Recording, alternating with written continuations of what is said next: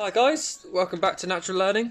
Um, so I'm doing a bit of a different kind of video today. So um, as you know, everyone's in lockdown all over the world. So what my idea was, a lot of people I know should be away. A lot of people should be on holiday, and I've been fortunate enough to go away a lot. And a lot of what I do when I'm away is nature-based, animal-based. Um, so I've been very fortunate to be here, there, and everywhere experiencing all sorts of things with all sorts of animals. Um, so I thought, because we can't get away, I should relive some of these moments with you guys so that you guys can relive them with me. So it's like a little bit of a, a little bit of a break during all this lockdown stuff. We can imagine being away. We can we could talk about some of the cool things that I've done and the cool places I've been. So um, without any further ado, let's crack open a beer and get on with this. So, one of the most recent places I've been was at the south of Portugal in the Algarve. Now, I was actually going there just for a holiday. I was fortunate enough for my uncle to take me and some of the members of our family away. This lovely, lovely place in the Algarve. We had private beach, we had our own pool and things like that. It was amazing. And he's quite a keen bird watcher, and as has it, so am I. Throughout this, I'm going to spot some photos here and there where I've actually been out with my camera and taken pictures.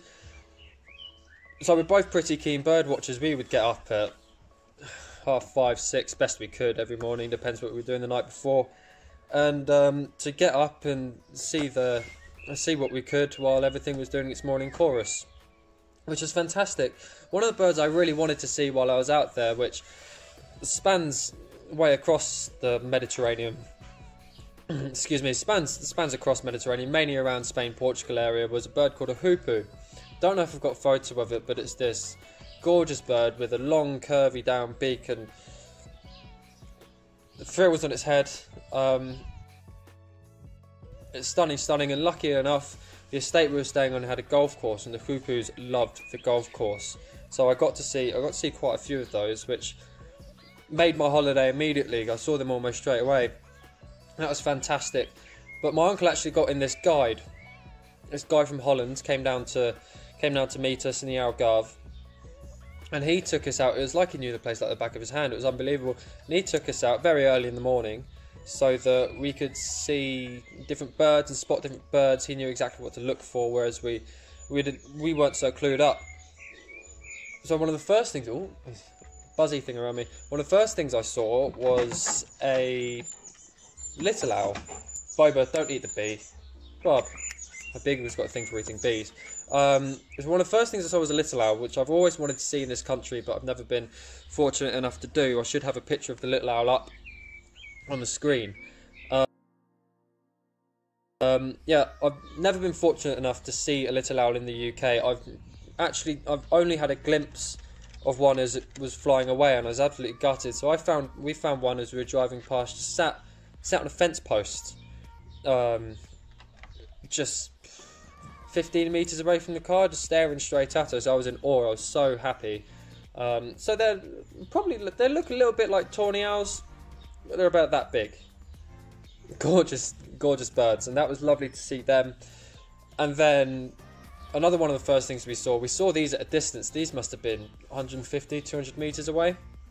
These are great bustards. If you don't know what these are, I don't think I got a good photo of them because they were so far away. But think of think of a turkey times its size by five.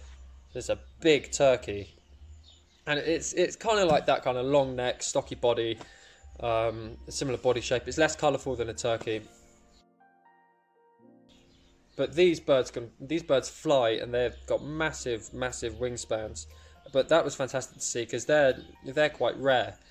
Um, so I was very very happy to see them. And one of the more colourful birds I saw was the bee eaters. Now these birds migrate from Africa to the Algarve and things like that during the summer, during the spring, summertime to breed.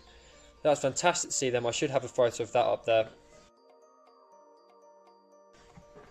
They were stunning birds. There was a whole flock of them we pulled up under these trees and there were just loads of them. Must have been close to 50 over our heads, all flying around and catching the bees. It was that was awesome to see.